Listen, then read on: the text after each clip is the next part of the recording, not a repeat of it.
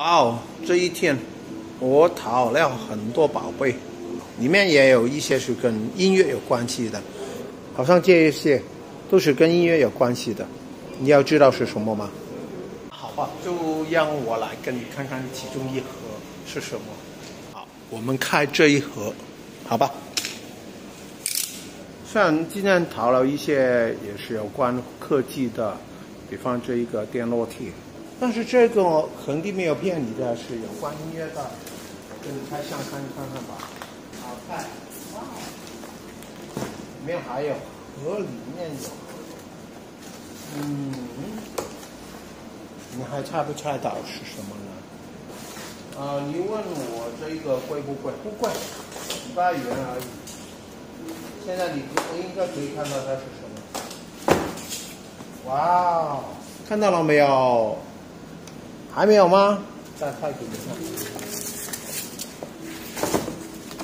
看到了吗？是个吉他的 body 啊，这个吉他的琴身，因为它运送途中它不发的这么好，可能我也把它弄坏了。那差成这个样子，你应该可以看到了，这个肯定是什么？是个电吉他的 body。告诉你，这一套就是一套电吉他的什么套件呢？啊，这里是放这一个呃配 up 啊，我们是叫这个电吉铁的。这里是这个并，还有这里是其他的。好了，我们再看看其他的什么。这是包装是蛮坚固的。可以不容意外。那看到了吗？这个是说明书。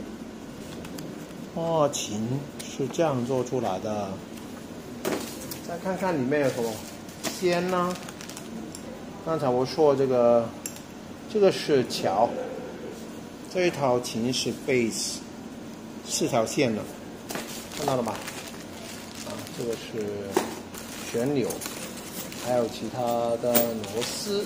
等等，弦线还有，好了，最后一盒肯定就是那个病子，那个秦病子。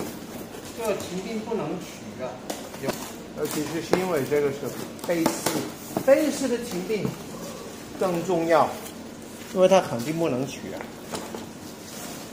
包装都很好。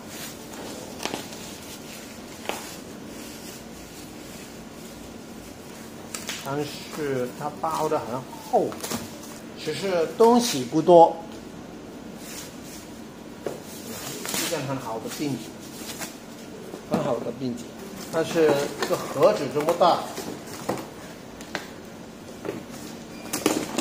这个跟这个连起来，啊一根，那已经是一根钉结它，所以它就是一个半成品。要把它弄起来应该不难的，但是首要你要把它这个这个油漆啊啊把它打磨抛光，然后最后才把这些配件装上去，那你就拥有一根新的贝斯了。那你看到这这些都是不同的吉他，一个、两个、三个，还有木吉他，这些都可以花我很多时间。去把它装配弄出来。好了，今天很高兴大家陪我一起开箱。今天我的分享先到这里了，我是卡洛斯。喜欢我的视频呢，请你关注、点赞及转发。再见。